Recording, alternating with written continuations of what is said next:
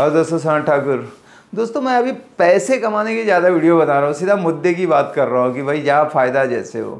तो आपको real estate में जो कर रहे थे, मान लो कि अगर हम पहले की बात करें तो रिसेल होता था रेंटल होता था, पर 2015 के बाद सीपी करके कॉन्सेप्ट आ गया, या प्री सेल में ज़्यादा लोग होने लगे चैनल पार्टनर एजेंट ब्रोकर अभी चैनल पार्टनर है ना?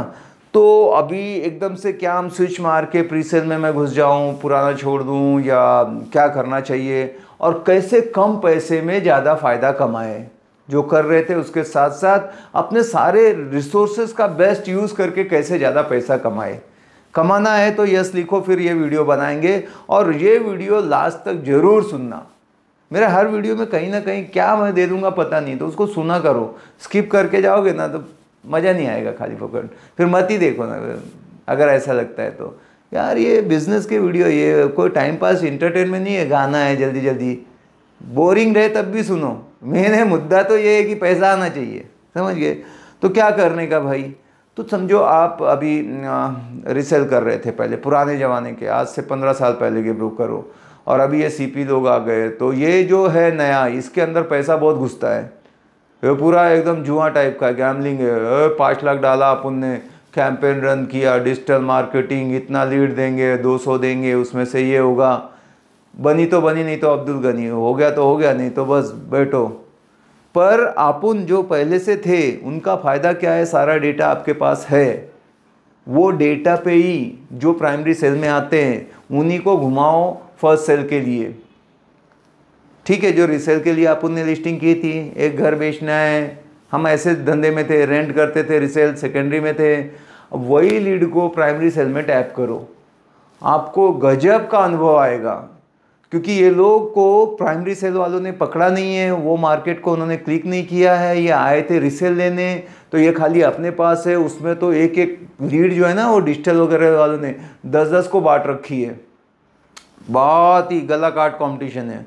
यहाँ पे मस्त मैं लीड निकाल रहा हूँ किसके नाम से? रिसेल के रेडी टू मूव प्रॉपर्टी के, पर मैं उनको मस्त फिर पटापटी करके फ़र्स्ट सेल में बेचने की कोशिश कर रहा हूँ। कैसे करेंगे?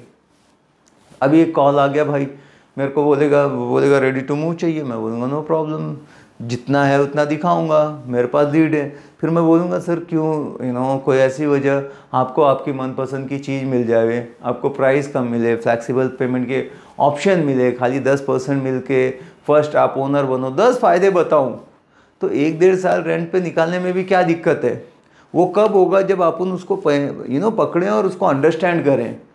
और बोलना कि अच्छी चीज़ है, चलो देख के तो आते हैं। एक बार कैसे भी मना के ना उसको साइड तक लेके जाओ।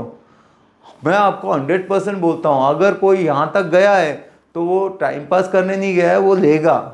एक तो प्रॉपर्टी लेने वाला था। रिसेल में मन मुताबिक मिलता नहीं है। मिलता है तो कुछ भी भाव बोलते हैं अनसन और फिर यू नो कभी पुराना हो गया, इधर क्रैक आ गया तो इसकी पार्किंग दूर है तो इसका कारपेट सही नहीं है, इसका डायरेक्शन ठीक नहीं है तो मेरे को हाई फ्लोर चाहिए तो मेरे को फ्रंट फेसिंग चाहिए। दुनिया भर के लफड़े, आप जो चाहिए, मन मुताबिक आपको पूरे चॉइसेस बहुत मिल रही है ना। यहाँ पे ये सोसाइटी में चाहिए, बचा यही फॉल्टी पीस भले ना हो, फिर वो ज़बरदस्ती लेने से तो अच्छा है ना ये। तो थोड़ा सा बताओ प्राइमरी सेल के फ़ायदे क्या है? खाली दस टक्का दे के आराम से पेमेंट करने का है। अगर किसी को टू बी के लेना है, पाँच लाख, दस लाख में आराम से टू बी के लेके आता है और कैसा रहता है? फोर सेविंग हो जाती है। एक बार बंदा ले लेता है तो कर ही देता है, कहीं से खींच खाच के, तान के पेमेंट या तो इनकम बढ़ाएगा या ना, मेहनत ज़्यादा करेगा, कुछ ना कुछ करके, खर्चे कम करके पेमेंट कर ही देता है। तो मैंने अभी एक दोस्त आया था मतलब मेरी ट्यूबलाइट कैसे की जल्दी तो वो बोला कि यार मैंने तो ए साइन कर ली है। तू तो यार मेरे जैसा था, मैं ज़्यादा प्राइमरी में नहीं करता हूँ, आप लोगों को बता दूँ। तो बोला, नहीं, अभी मैं उसमें कर रहा हूँ। तो मैंने बोला, यार फिर क्या, कहाँ से कैंपेन कैसे रन करता है? ये फेसबुक गूगल ऐड या बोला, नहीं नहीं नहीं, कुछ नहीं, तेरे को एक सीक्रेट बताता हूँ। जो एग्जिस्टिंग बिज़नेस है ना जो लीड आई है, दो टेलीकॉलर को लगाता हूँ, उन्हीं को कॉल करते रहती है। थोड़ा सा बताती है कि क्या फ़ायदा है। अंडर कंस्ट्रक्शन लेने में कोई बुराई नहीं है। और जो फिर किसी को जल्दी चाहिए तो छः महीने में पोजिशन है। वैसे भी दो तीन महीने इधर पेपर वर्क करके जाने हैं।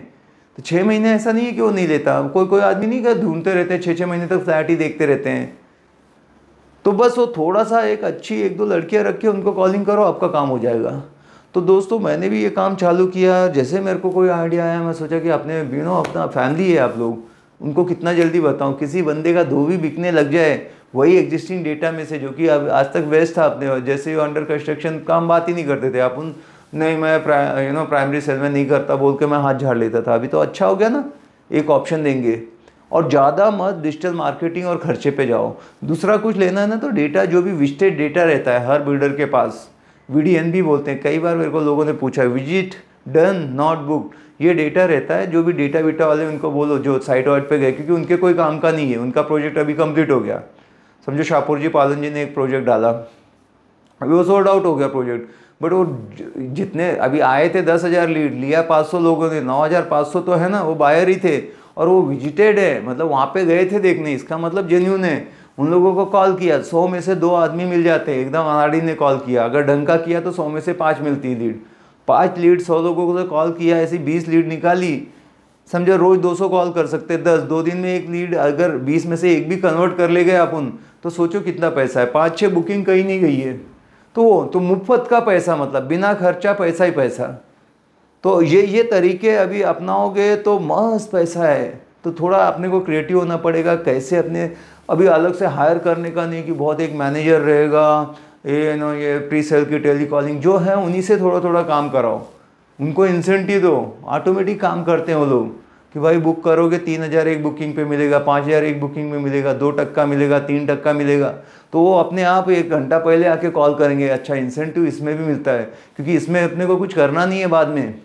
मज़े की बात क्या है? ना कोई पेपर वर्क ना कोई झमेला, ना ये कर, वो कर एग्रीमेंट में एक दिन खाला कर, आज स्टैम्प ड्यूटी भरने जाना है ब्रोकरेज के लिए मतलब ब्रोकरेज मांगना मतलब भीख मांगना जैसे रहता है। झंझट नहीं बिल्डर को बस इन्वाइस देने का और चार टक्का, पाँच टक्का तक लोग स्लैब में दे रहे हैं ब्रोकरेज तो ये क्या बैठे हो? जल्दी से जल्दी उधर अभी धीरे धीरे शिफ्ट करो। अभी मैंने ये महीने में डिसीज़न ले लिया है कि 80 परसेंट तो अपना एग्जिस्टिंग बिज़नेस उससे आएगा 20 परसेंट अपन प्राइमरी सेल से भी करेंगे। जब तक आप डिसाइड नहीं करोगे तो कभी नहीं होने वाला है। आप डिसाइड करो, हो जाएगा। थोड़े बहुत चैलेंजेस आएँगे, लेकिन आप फिक्स कर लोगे। इतना मुश्किल काम आपने पहले ही कर लिया है तो ये तो कुछ नहीं, बाएँ हाथ का खेल है। समझ गए? वीडियो अच्छा लगा है तो लाइक करो कमेंट करो सब्सक्राइब कर लो बेल आइकॉन को ज़रूर प्रेस करो। इतने यूज़फुल वीडियो आते रहते हैं। और टाइम पे देखने में ही फ़ायदा है। मिलते हैं अगले वीडियो में। Bye bye take care thank you